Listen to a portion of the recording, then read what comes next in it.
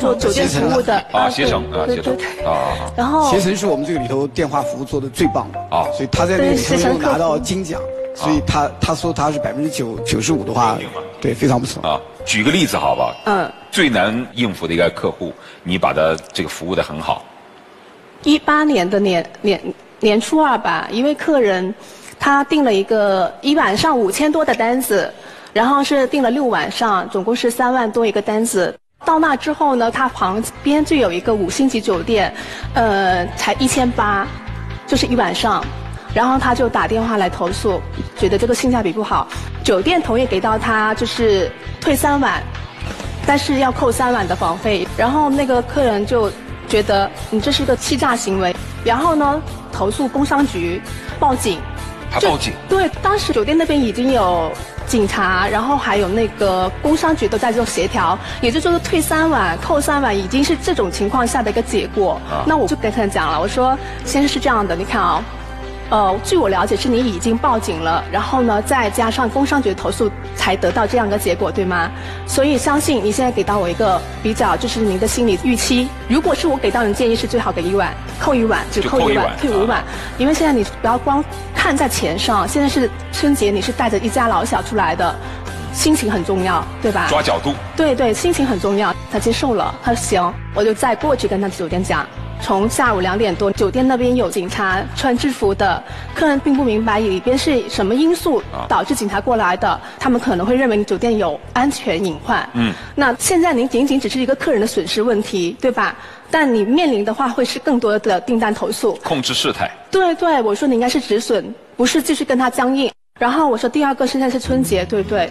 开张大吉嘛，对不对？你不能因为好彩头。没错，你不能因为这个事情然后给自己带来一个晦气。还有最后一点更重要，你看现在那个就是，这算是政府的机关在陪你一起。处理这个事情。对对，现在是大过年的，你哪怕说行，我是买你们的面子，然后呢，我给这个客人买谁的面子？买买那个工商局对，也因为你毕竟以后长期在那边工作嘛，对不对？你这样的话给他们一个好的。他这方面还跟他考虑到了啊，帮他权衡利弊。对对对，他就被我说服掉了啊，然后就 OK 了。这个单子我看一下我们的利润，我只要不做到补偿。我这个单子就是赚的啊，我也要考虑我公司的一个盈利情况。那等于这个事情的结果是三赢，对对对对。我觉得他做的非常好，因为 刚才他讲的这个一开始这种情况，我听下来的话，我觉得真的是很难处理，对吧？但是你最后，我觉得你最后讲那三点非常好，就是。对那个酒店来讲，你说有制服的人在里边这样穿梭的话，对他的这个生意的影响，这个我觉得是非常打动他的。另外，当你讲，我觉得他说的最有道理的一点是什么？他说这个过年什么晦气啊，这个东西大家都知知道，人之常情。他说你这也就算卖当地机构一个面子。对，就是我刚才这个说的很巧。你一下抢在我前面讲，我本来讲到第三点，最后这个这个。啊，对不起，我抢了你的话。不要紧，所以他的这个金牌不是白拿的。非常不错，但我还有一种感觉，我觉得他特别的情商高，然后又特别的负责，为企业考虑。对，而且他处理问题的这个技巧非常高，我觉得企业能有能有这样的员工，真的 也也很幸运。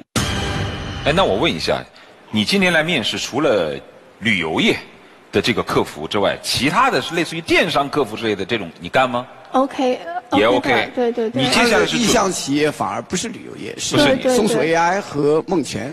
啊，所以你接下来是准备带着孩子走到哪儿就工作到哪儿吗？